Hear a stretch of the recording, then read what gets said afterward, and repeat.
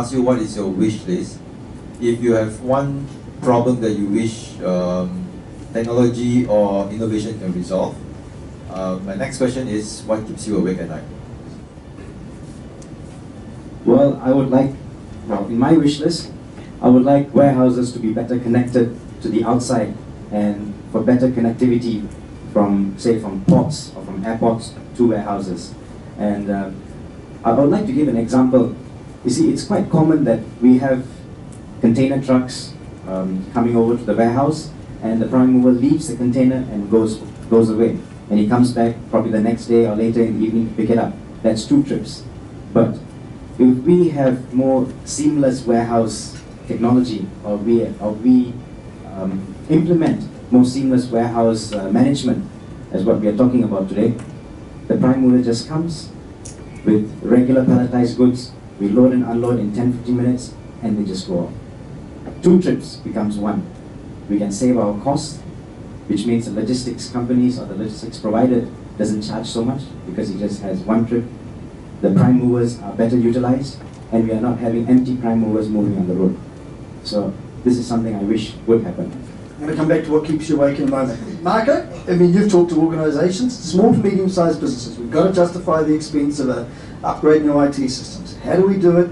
How do we do what Rich is talking about? How do we get them to see the value in, in technology?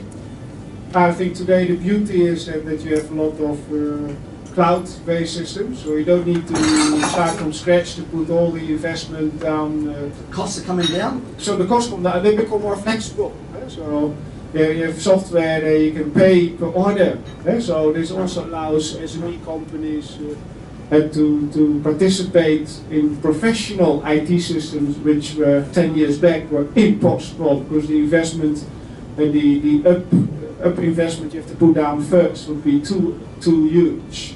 And so this cloud solution make it possible to have access as SMEs uh, to professional systems from Europe, US, and, uh, and use them. Yeah. Any comments? I'm going to ask you the, the second question, actually, because I think this is a conversation that you have every day with your customers, right? What keeps them awake at night in their supply chain? Uh, from my perspective, uh, what keeps uh, supply chain providers like us in Singapore awake is uh, people. Because for us, we face a very huge shortage of uh, workers uh, in Singapore, and we are unable to take on additional business due to the shortage of manpower.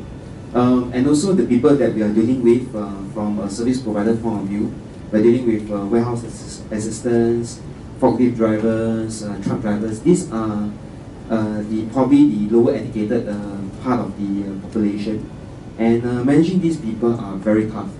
So I would say that the thing that keep me up awake at night is managing people because ultimately this is what the, our business is all about. My services is only as good as the last driver on the ground. I can be saying that I promise that you'll be on time, you'll be we are the best logistics service provider, but ultimately we depend on the guy on the ground to execute it. Thank you. Um, let's do it. Let's get into this people subject. It's a highly emotional subject. It's subjective. Um, we all have a different view of the world. But Charlie, I'm, I'm going to start with you because you touched on in your speech, you know, your, your parents almost had heart attacks and uh, were very concerned when you said you were going to get into this, this whole business called logistics.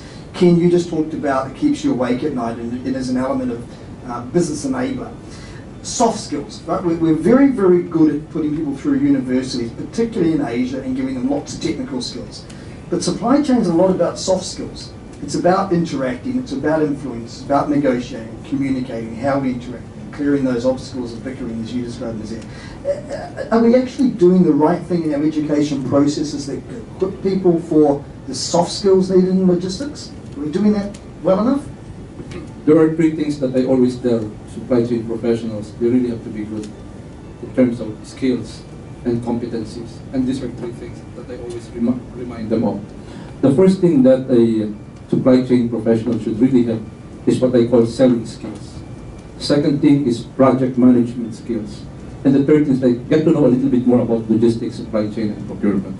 So what makes me awake at night is like when I run or large organizations, one of the things that I really try to train people is like, I don't have to train them about procurement. They know this stuff. They've been doing like day in, day out.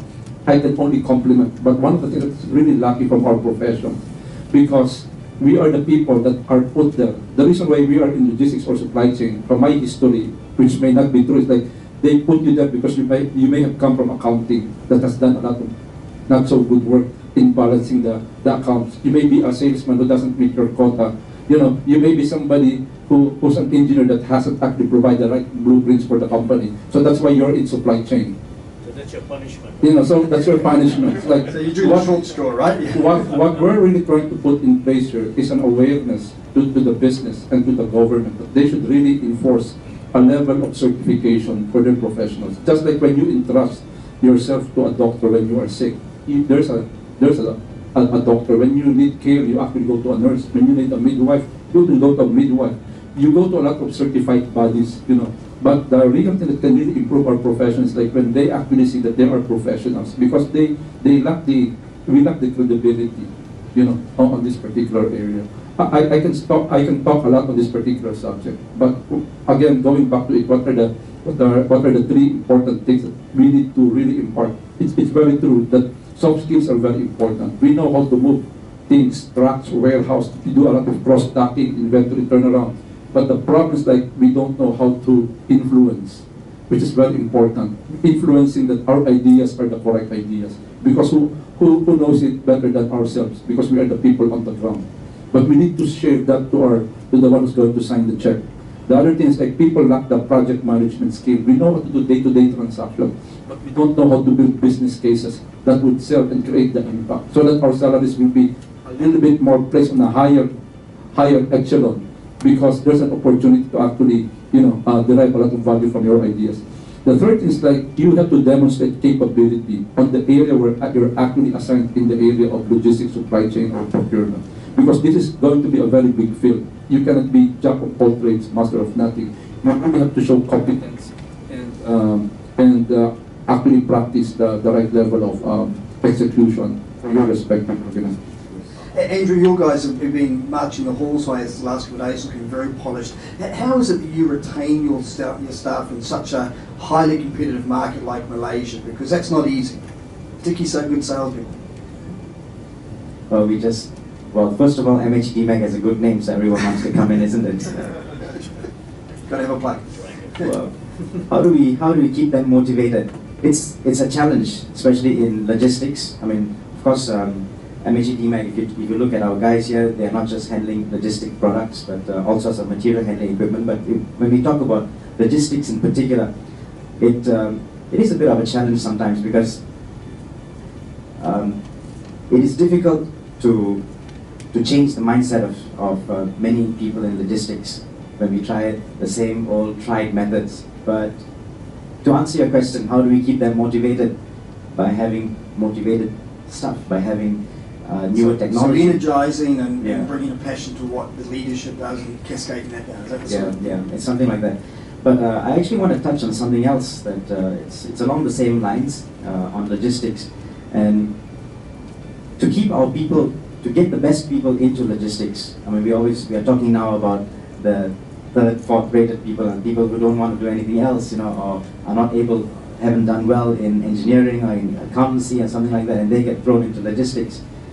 Maybe it's because we don't really, um, we're not really pushing so much in the sense that um, for us to improve our logistics in Malaysia or in Southeast Asia, there needs to be a good push from above. There needs to be good policies. And we do have, yes, I agree with uh, our panelists that our government is doing something, but we need to have uh, a strong push. If you look in the example of, uh, of Europe, you would see there's, there are a lot of policies and laws that need to be met. And that's why you would see cases where uh, they try and maximize the usage of their trucks. They try and maximize the usage of their warehouse.